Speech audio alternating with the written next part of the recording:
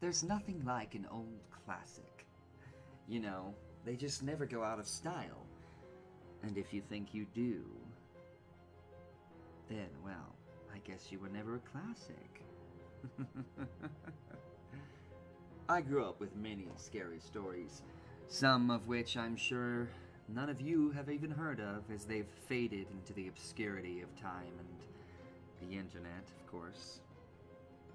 But every now and then, it's always good to look back on the stories that made our childhoods just a little bit harder to endure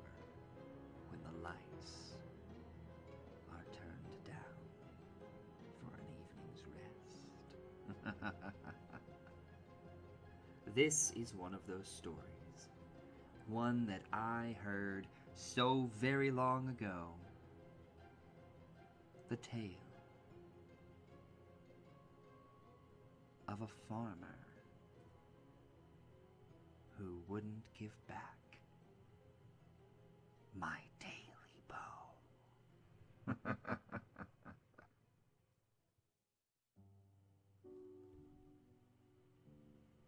there was an old man who lived alone in the middle of the forest.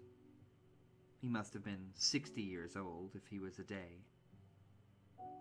But nobody knew his real name. Most folks just called him Old Jake. He had three loyal hunting dogs that kept him company on long, lonely nights. Their names were I Know, You Know, and Calico.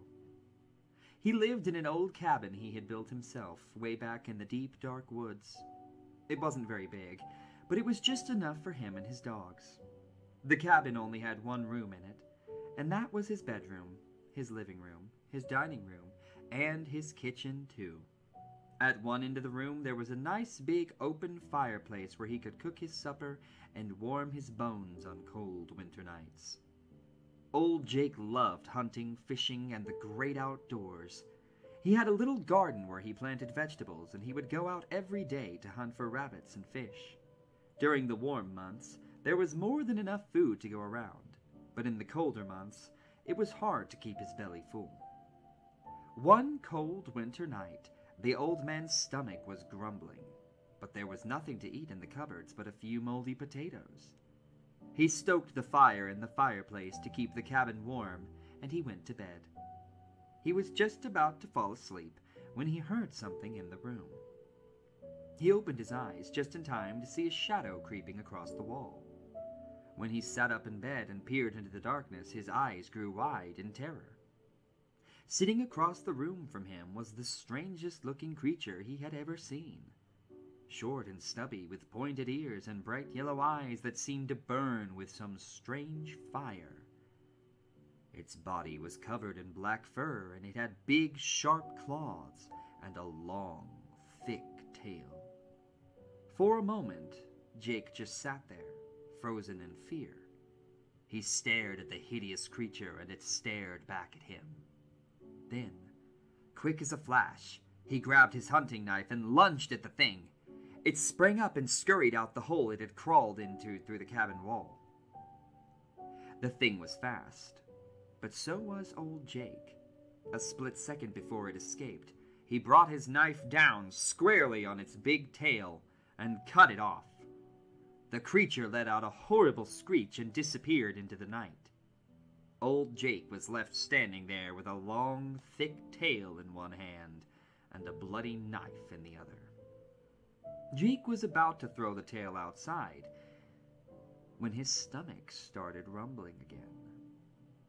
He was famished with the hunger, so he took the tail, cleaned it, cooked it, and ate it for his supper. It tasted a bit strange, but there was a lot of it, and it was very chewy. In fact, it tasted almost of chicken. When his stomach was full, old Jake plugged up the hole in the cabin wall with some old rags and newspapers. Then he got back into bed and drifted off to sleep. He hadn't been asleep very long before he was awakened by a strange noise. It sounded like something trying to scratch its way into the cabin. The old man thought that if he stayed very quiet, the thing might go away. He could hear it scratching. Scratch, scratch, scratch. But then a strange voice outside hissed. Tailypo. Daily Bow. I want my Daily Bow. He thought he must be imagining things, but then he heard it again.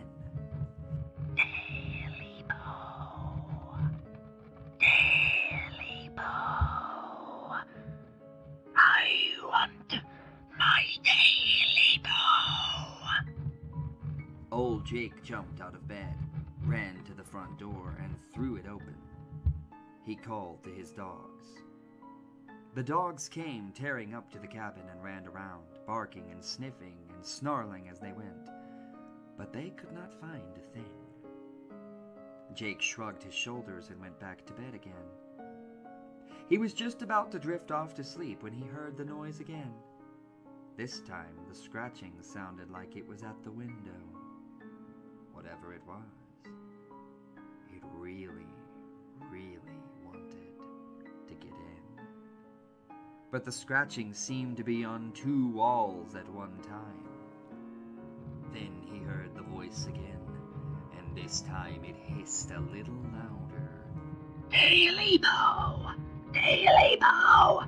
Where is my Tailypo? Jake, who wasn't one to frighten easily, was getting very shaky. This was getting very strange, so he eased to the window and called his dogs again. The three dogs bounded up to the porch, and they sniffed around and barked. Barked and sniffed, but they never found anything at all. Jake decided to stay up for the rest of the night to protect himself, his dogs, and his little cabin.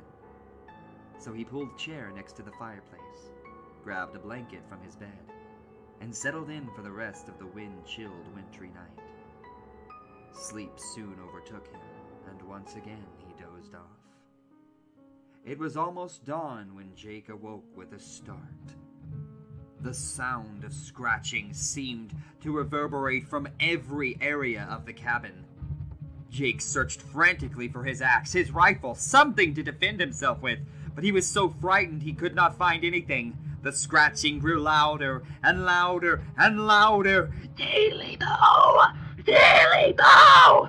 Give me back my Tailypo.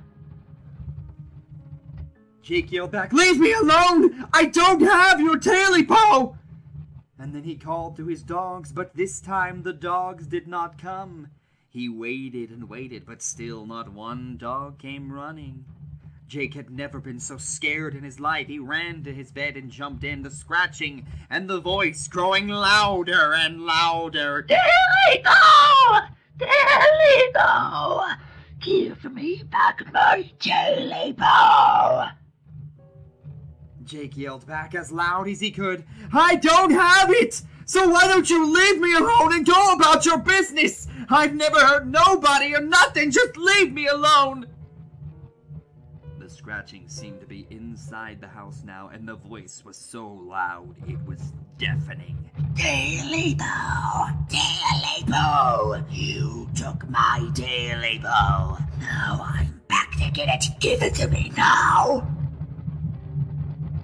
Jake pulled the cover up over his head and stayed as quiet as he could, but the scratching was now in his room. Jake then felt the thing scratching up the bottom of the bed and onto the covers. He eased the cover down to see what was steadily approaching, and he saw it.